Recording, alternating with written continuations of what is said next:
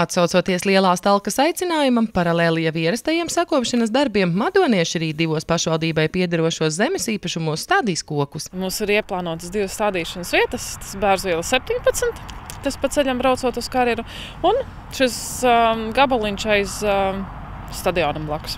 Šeit uh, Kalpakielā plānojam iestādīt 0,2 hektāru bērza un 0,3 hektāru melnalkšņas tādus. Kopā tas būs apmēram 400 bērza stādus un 600 melnalkšņas stādus. Bērzielā mm, savukārt plānojas bērzu un eglas stādījumi apmēram 400 bērza un 600 eglis. Šāds lēmums pieņemts apzinoties, ka pilsētas teritorija lielākoties sakopta jau gatavojoties lieldienām, un arī šobrīd talkas priekšvakarā it visur manām rosība. Mēs gribam jau šodien sakopt jau šodien, lai mūsu Latvija ir smuka un tīra, bet e, sestdien mums jau paredzēs bišķi atpūsties. Nevarēja visu laiku strādāt. Kā stāsta Andrejs Broks, blakus teritorijās esošo lielo koku dēļ sava pagalma uzturēšana prasa nemazums pūļu, tādēļ īpaši tiek novērtēts pašvaldības sniegtais lielo lapu maisu bezmaksas pakalpojums. Maisi ir vajadzīgi, tas ir laba lieta, izdevīgi, ērti. Tev salasi, noliec ceļa malā, cilvēks atbrauc, fūra savāc, visu viena čupiņā un kārtībā. Skaisti sakopti un prieks, ka cilvēki strādā.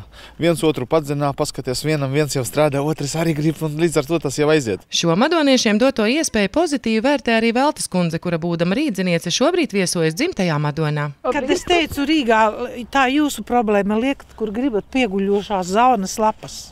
Es saku, manā dzimtā pilsētā ied maisus dod, viņi saka, nu tad brauciet tur dzīvot. Jā, bet pēdējos gados Ušakovs ir pacenties savāc lapas. Tas jau vispār ļoti labi, kad pilsēta iedod tādus maisus.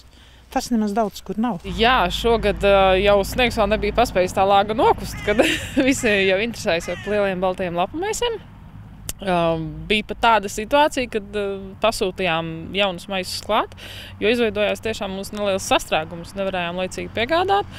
Patreiz visu vēlmes ir apmierinātas, visu maisu ir piegādāti. Nu, jau tā aktivitāte mazliet ir, ir noplakusi, jo tiešām viss ir sakopts, bet nu, nav pa kādam pieskās vēl. Bet šo iespēju droši varēs izmantot vēl līdz pat maija brīvdienām. Rosība jau pāris dienas pirms talkas manām arī pilsētas dīķu un strūklaku tūmā. Jau ierasts kabas pilsētas strūklakas tiek modinātas tieši lielās talkas dienā, pēc labi padarīta darba kopīgi baudot siltas pusdienas. Arī šoreiz organizatori būs parūpējušies par maltīti un arī kādu īpašu pārsteigumu madoniešiem, kurš pagaidām vēl tiek turēts noslēpumā.